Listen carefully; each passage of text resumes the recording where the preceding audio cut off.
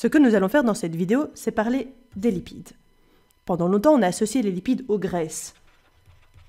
Et en fait, ce n'est pas faux, les graisses sont des lipides. Mais tous les lipides ne sont pas des graisses. Une meilleure définition ou classification serait de dire que ce sont des molécules biologiques, des biomolécules, qu'on trouve dans les systèmes biologiques et qui ne sont pas très solubles dans l'eau. Pas très solubles dans l'eau. Alors je n'ai pas dit non plus hydrophobe, ce qui signifie qu'il serait pas du tout attiré par l'eau. Parce qu'il y a certains lipides dont certaines parties sont hydrophobes, mais dont d'autres parties sont hydrophiles, donc attirés par les molécules d'eau. En termes de rôle qu'ils jouent dans le corps, eh bien, on peut alors penser aux molécules de graisse, elles vont jouer un rôle de stockage d'énergie. Quand tu checkes ton corps et que tu te trouves un peu gros, tu peux te dire waouh, toute cette énergie qui se trouve stockée là. Ils peuvent aussi être impliqués dans la signalisation.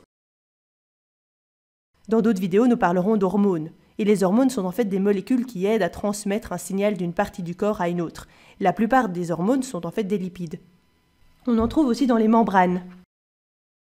En biologie, on se concentre beaucoup sur les membranes et particulièrement les membranes cellulaires, qui sont composées de phospholipides. Et les phospholipides ont une extrémité qui veut éviter l'eau et une autre extrémité qui est attirée par l'eau. Et c'est justement cette propriété qui fait qu'ils sont idéaux pour constituer les membranes. Si on revient aux graisses, voyons voir à quoi ressemblent les molécules de lipides. Eh bien, ceci, c'est un exemple d'une molécule de graisse. La structure générale qu'on voit là, ce sont trois acides gras. On a un premier acide gras ici, un deuxième ici et un troisième ici. Et ils sont connectés là au glycérol. Pour le moment, ne te préoccupe pas trop de ces termes. Tu les étudieras plus en profondeur quand tu suivras un cours de chimie organique. Mais c'est là qu'apparaît le terme triglycéride. Tri pour trois, trois acides gras, et glycéride pour le glycérol. Et glycéride est en fait un autre mot pour graisse. Et pourquoi les triglycérides ne sont pas solubles dans l'eau? Regarde ces longues chaînes, ces longues chaînes d'hydrocarbures, qui sont donc une série d'atomes de carbone et d'atomes d'hydrogène. Souviens-toi que les choses qui sont solubles dans l'eau ont tendance à être polaires ou bien chargées, avec des charges partielles ou même des charges complètes. Mais cette chaîne d'hydrocarbures n'a pas de côté plus chargé qu'un autre, du coup ils ne sont pas très solubles dans l'eau. Et un autre mot qu'on associe à ça, c'est saturé ou insaturé. On parle de graisse saturée et de graisse insaturée. En fait, ça fait référence à ce qui se passe avec ces chaînes d'hydrocarbures. Les carbones vont se lier au plus d'hydrogène possible. Et dans ce cas, s'ils sont liés au maximum d'hydrogène, on a une graisse saturée en hydrogène. Si elle n'est pas liée à son maximum d'hydrogène possible, et donc en théorie elle pourrait se lier à d'autres hydrogènes, car elle a encore des doubles liaisons libres, alors la graisse est insaturée. Parfois le terme graisse est considéré comme quelque chose de négatif parce qu'on associe ça au fait d'être gros. Mais en fait c'est important de réaliser que sans graisse on mourrait. Beaucoup de vitamines qui ne sont pas solubles dans l'eau et qui sont en fait des lipides ont besoin de graisse pour être absorbées dans le corps correctement. Comme je l'ai mentionné, tous les lipides ne sont pas des graisses. Ici, on a un autre exemple de lipides. Alors je ne vais pas parler en détail de leur structure moléculaire, mais tu peux voir qu'il y a quelque chose de similaire ici.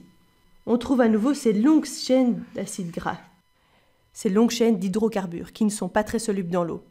Cette partie-ci est donc hydrophobe, et ce qui est intéressant, particulièrement avec cette sphingomyéline, qui est impliquée dans la gaine de myéline dans ton cerveau et qui aide à isoler les neurones électriquement, elle va être aussi impliquée dans les membranes. C'est une partie substantielle des membranes de phospholipides. Donc cette sphingomyéline a une partie hydrophile. On verra plus tard que du coup c'est un phospholipide et plus précisément un sphingophospholipide, qui est idéal pour la structure des membranes. On va avoir donc la partie hydrophile qui va se situer à l'extérieur, vers l'extérieur de la membrane.